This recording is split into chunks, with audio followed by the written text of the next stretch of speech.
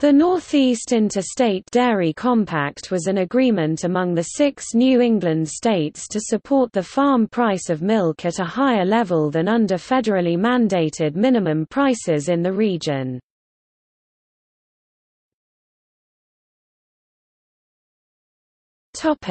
Provisions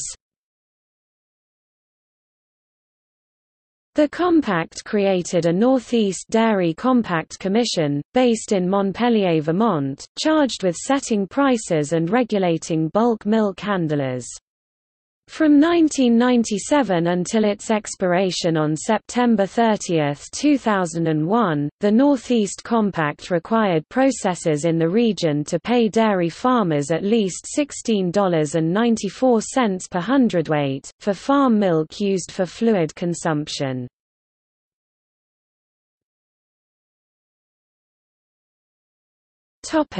Membership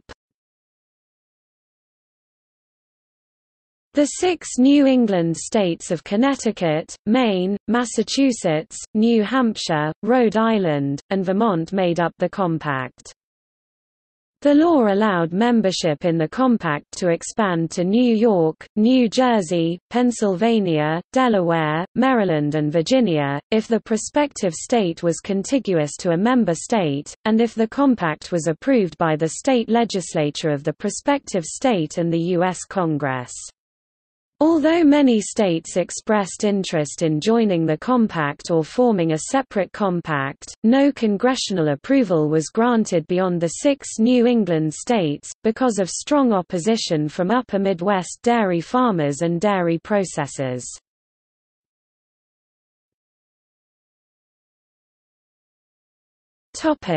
Expiration After controversy and claims of price inflation, in 1999 Congress limited the duration of its authorization of the compact, which ceased operation on September 30, 2001, after intense lobbying both in favor and against its extension.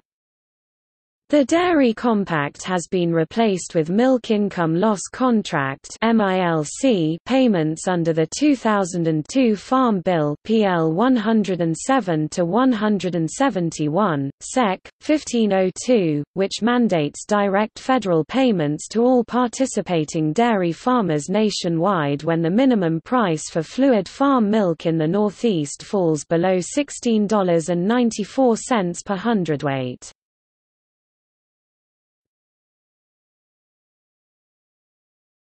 Topic. See also Southern Dairy Compact